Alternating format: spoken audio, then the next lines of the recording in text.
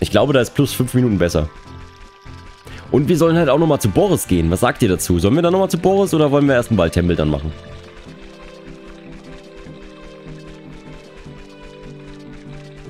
Ja, noch besser. Lololol, armer Zelda-Junge. Wieso denn armer Zelda-Junge? Ich spiele doch gerne mit euch. Boris. Ihr wollt zu Boris. Okay, aber wir machen erst das im Wald, weil ähm, ich würde Boris dann gerne mit den Hasenohren machen, dann ist er leichter.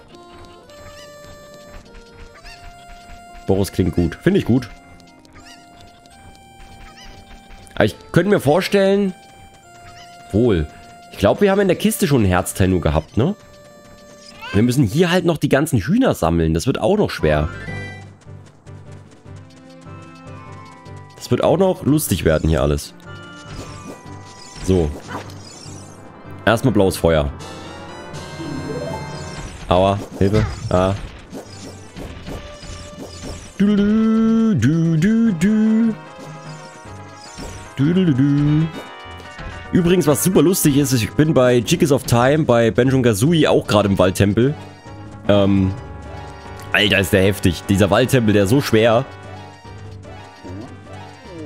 Das werdet ihr jetzt in den nächsten äh, Parts sehen. Das ist auch... Wow, Alter.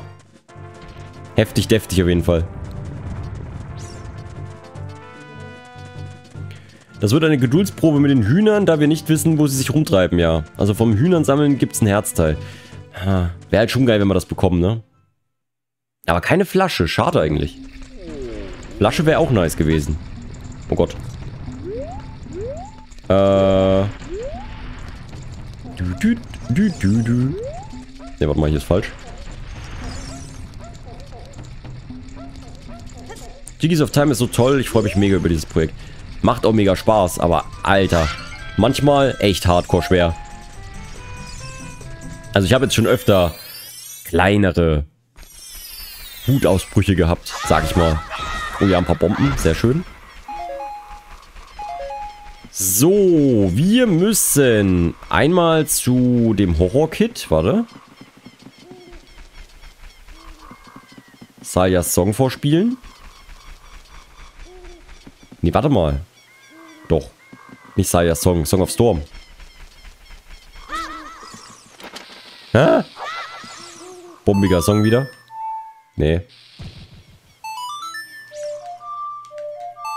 War doch Song of Storm, oder? Da gab es, glaube ich, ein Item. Oder war es nur Sayas Song? Sayas Song haben wir ja schon vorgespielt. Quatsch. Sayas Song haben wir schon gemacht. Bin ich doof? Ja, Sayas Song haben wir ja schon gemacht. Wir haben ja schon die Maske gegeben. Vorher ging es ja nicht. Das haben wir schon gemacht. Habe ich irgendwie voll vergessen. Finde Banjo auch geil. Sehr gut. Banjo-Kazooie war auch im Original sehr schwer. Du schlägst sie sehr gut, finde ich. Das finde ich toll. Danke. ähm. Ich finde halt, an sich finde ich Banjo-Kazooie ziemlich cool. Das Einzige, was richtig schwer ist, finde ich, ist die Kameraführung. Weil die geht immer so komisch auf einmal weg. Oder du, du kannst dir nicht so richtig orientieren, wenn du springen möchtest, wie du das gerne hättest. Das ist immer so ein bisschen... Das ist das Einzige, wo ich sage, ah, ja. Oh. Akasam. Okay, wir können jetzt 50 Deko-Nüsse tragen. Naja. Beim letzten Mal mache ich das meist entweder über die Wand oder ich stelle mich ganz nach links oder rechts und lasse dann schräg über den Boden gleiten. Ah ja. Repeat Gaming, hallihallo erstmal. Schön, dass du da bist. Ich glaube, du hängst noch ein bisschen zurück, kann das sein? Beim, weil wir sind schon im Wald gerade. Und du hast gerade angefangen, über äh, Dinges zu reden. Oder vielleicht hast du auch einfach gerade drüber geredet. Hallo Maike! Kann natürlich auch sein. Ja, die Kamera war schrecklich. Ist leider so das Einzige, was mich ziemlich stört an Banjo-Kazooie. Ansonsten könnte man das so gut spielen, glaube ich. Mit, mit der Kamera ist das halt aktuell alles so ein bisschen schwierig noch. So, ähm... Ja, würde ich sagen, jetzt gehen wir die Maske holen zu Boris und dann in den Waldtempel, oder? Was sagt ihr dazu? So die Reihenfolge? Also, äh... Ah ja, okay. Wir holen uns jetzt die Hasenohren zurück, damit wir im Rennen gegen Boris schneller sind. Holen uns noch ein Item von Boris ab. Keine Ahnung, was das ist. Wir werden sehen. Und dann ab in den Waldtempel. Das ist der Plan. Bam, bam, bam, bam, bam.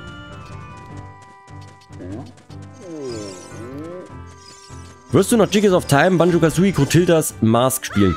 Ähm, nee, ich plane danach erstmal wieder ein paar Randomizer. Ähm, als erstes auf jeden Fall einen Twilight Princess Randomizer habe ich jetzt schon in Angriff genommen. Das ist schon teilweise alles vorbereitet. Sobald dann Paper Mario bzw. Banjo-Kazooie zu Ende ist, wird da erstmal der Randomizer von Twilight Princess starten und nach dem anderen Projekt wird dann äh, Minish Cap Randomizer starten. Den machen wir auch noch. Die zwei Projekte plane ich gerade, beziehungsweise sind schon fast fertig. Und ja, mal gucken, was wir sonst noch so machen. Hm. Ja, Randomizer ist gut, bin nicht so Benjo-Fan und Paper Mario. Hm, ja, ähm, möchte ich auf jeden Fall auch erstmal wieder dann so machen. Ich, ich finde halt Randomizer auch aktuell super geil, sodass zumindest immer ein Randomizer läuft und vielleicht ein Nebenprojekt so. Dass wir das ungefähr so machen. Dass da für jeden immer was dabei ist. Und wie gesagt, ich bin ja auch jetzt immer wöchentlich dabei, hier den Livestream ähm, zu machen. Und hätte gesagt, wir machen danach auch wieder einen geilen Hack. Irgendwas krasses, was ich noch nicht kenne. Und auch wieder mit Death Reel. Sowas machen wir auf jeden Fall. Am liebsten mag ich Randomizer von Majora's Mask Ocarina of Time. Das machen wir auch noch, ja. Auch so ein äh, Misch-Randomizer. Wie findet deine Frau es eigentlich, dass du Streams bzw. YouTube machst? Mag sie auch Zelda? Sie ist jetzt da nicht so der... Also sie zockt auch gerne mal, ähm, aber eher so... Ja, so ein bisschen aufbaumäßig irgendwelche Spiele wie ähm, Hausflipper oder äh, wir spielen aktuell unseren ähm, Supermarkt-Simulator so ein bisschen nebenbei. Aber so Zelda an sich ist sie jetzt nicht so der größte Fan und ja, dass ich streame, das akzeptiert sie halt und unterstützt mich dabei. Und ja, das ist eigentlich so der Grundgedanke. Das war es eigentlich schon. Ähm, sehr cool mit Minish Cap, da freue ich mich auf Twilight Princess, eines der besten Spiele der Reihe. Ja. So, Let's go. Jetzt sind wir auch wieder schneller unterwegs. Bam, bam, bam, bam, bam. Voll lieb vom Link-Mädchen. Klar. So, wir holen uns mal noch schnell Geld, oder?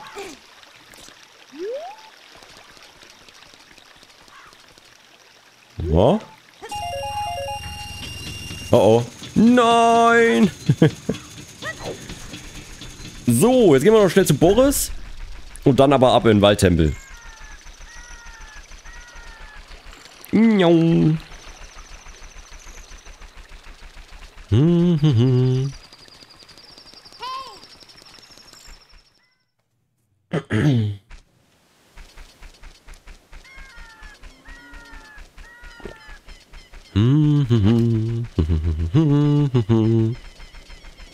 Hm, hm, hm. Warum habe ich gerade diese Kampfmusik im Ohr? Äh, wollen wir nochmal in das Haus da oben reingehen, Leute? Was sagt denn dazu? Ich fand das toll. Den Brunnen? Wir können auch den Brunnen machen, oder? Theoretisch könnte man den Brunnen auch schon machen. Absturz! Kannst du gerne probieren. Äh, kennst du auch das Spiel Böse Nachbarn? Ich habe das gerne mal auf dem Gamecube gespielt und auf der Switch ist es auch sehr cool. Nee, sagt mir gerade nichts. Bad Neighbor heißt das, oder wie?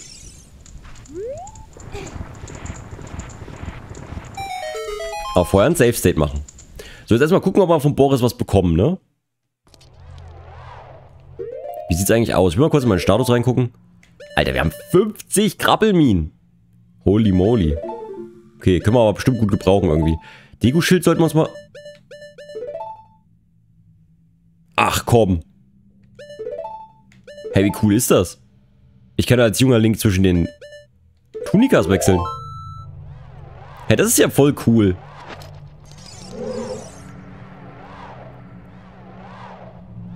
Ich verwirre mich selbst hier, haha. so.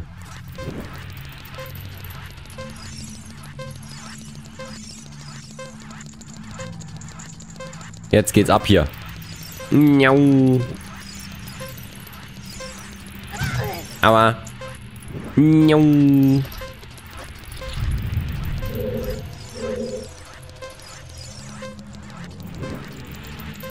Hm.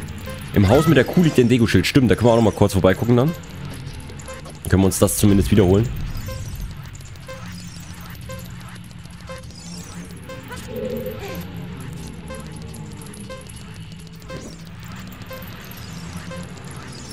So, das lief doch ganz gut, Leute, oder?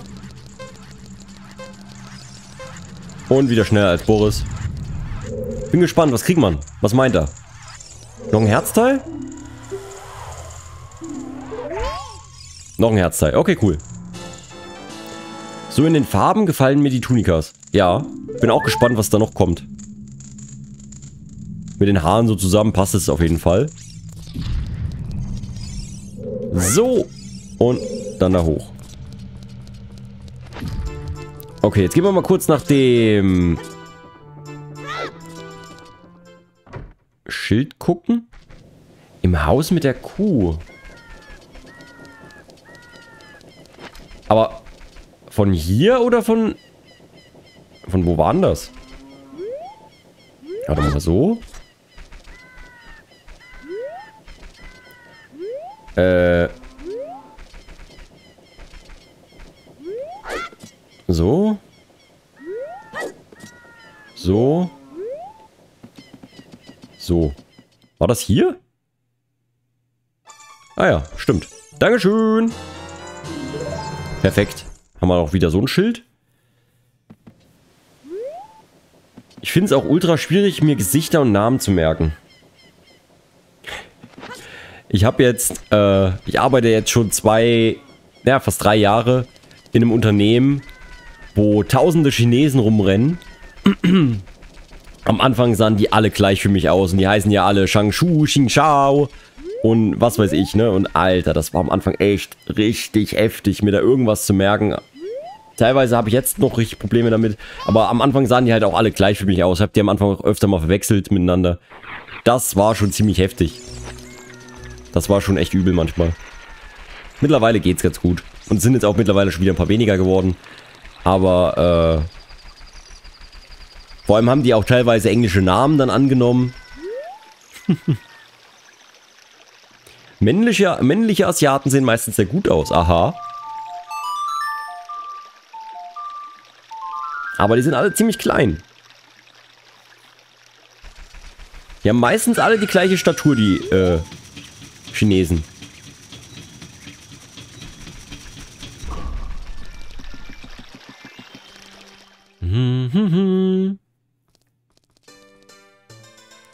So, ähm... Kennst du das Spiel Diddy Kong Racing? Da würde ich gerne auch mal wieder ein Spiel von spielen, wenn das wieder verfügbar wäre. Es geht. Meistens sind die ein Stückchen größer als ich. Ah, okay. So, Hasen und Hammer. Wir machen uns jetzt erwachsen, ne? Let's go. Auf geht's.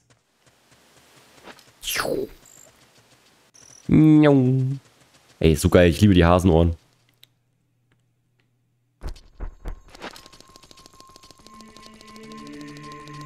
Hießen die nicht Sans oder waren das die Japaner? Was? die Größe ist egal, auf den Charakter kommt es an. Das stimmt. Hm. Hm. Voll die Vorurteile. Ähm, ja, normalerweise schon, aber es ist halt wirklich so. Also ich, ich kann es nach drei Jahren Erfahrung bestätigen. Das soll jetzt auch kein Vorurteil sein. Die meisten sind wirklich relativ klein. Also, ja, ich sag, was, was heißt schon klein, ne? Aber ich sag mal, die, es gibt jetzt keine so übergroßen, so Chinesen, die 1,90 sind. Davon äh, siehst du super selten mal jemanden. Oder 1,80. 1,80, 1,90, davon siehst du eher selten jemanden.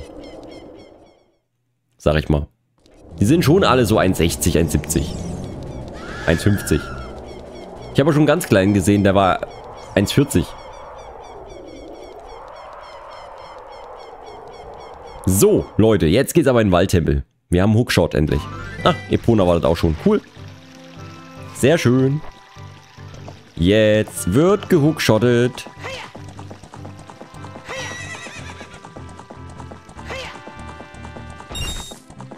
Kommst du dir nur so vor oder sind die Hasen schneller als im Majora's Mask? Kann schon sein. Vielleicht wurde da ein bisschen was äh, dran gedreht an der Geschwindigkeit.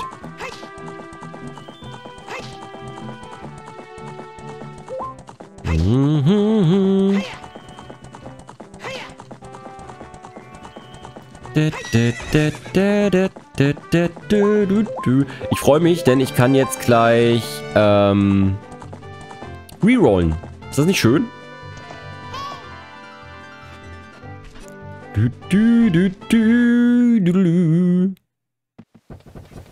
So. Hilfe. Rerollen. Noch freust du dich. Okay, ja. äh.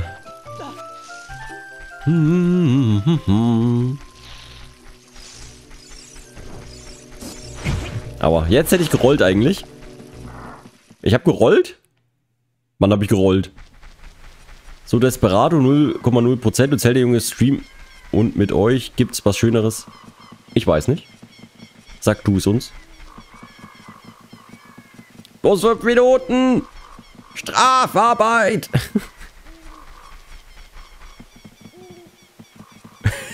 ich will, ich will den Beweis, ich will das Beweisfoto sehen. Wo ist das Beweisfoto? Der Brücke, was für eine Brücke. Ich kenne keine Brücke.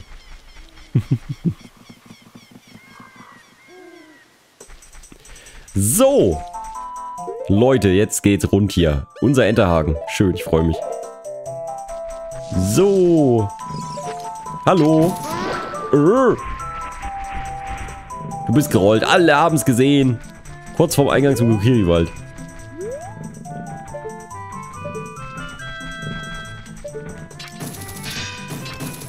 Oh, guck mal, wir haben so einen neuen, neuen Punkt. Seht ihr das? Also normalerweise ist das nur ein Punkt. Und jetzt haben wir wie so ein Fadenkreuz. Das ist schon cool. Genau, jetzt müssen wir bei 15 Minuten sein, theoretisch. Äh. Meine Güte, ist der weit zurückgeprallt.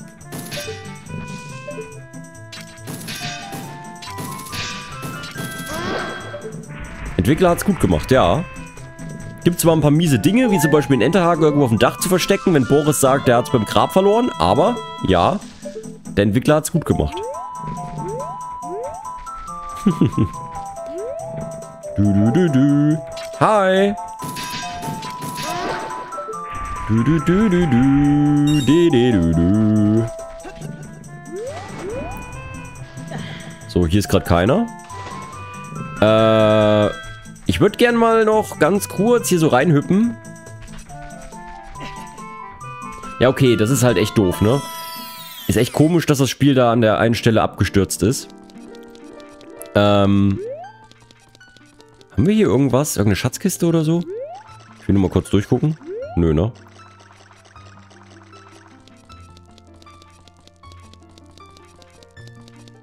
Der Boris hat es ja auch beim Grab verloren, nur der andere hat es dann vor dir gefunden. Wie im Real Life. Toll. Beweisfoto auf Discord. Na toll. Oh, da ist ja noch ein Loch. Waren wir da schon drin, ne?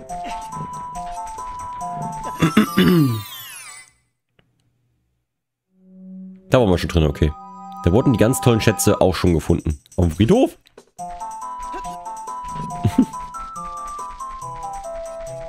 du, du, du, du. So, da kommt der Obermago.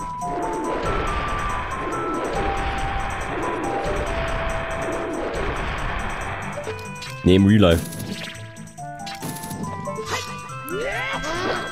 Mhm. Wisst ihr was? Wir haben auch einen äh, krasses Schwert, ne? Ein Zweihänder-Schwert für besondere Kämpfe. Was sehen meine Augen da oben? Hey, let's go home! Was? Wieso? Hä? Wieso let's go home? Jetzt gibt es erstmal Musik von Chic.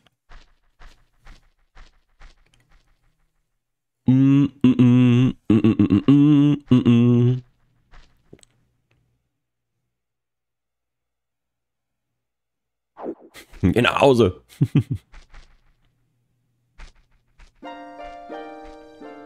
bam, bam, bam. Hey, Bro. hey, Bro. äh. Da, da, da. Toll, jetzt habe ich auch einen Ohrwurm. Wovon hast du einen Ohrwurm?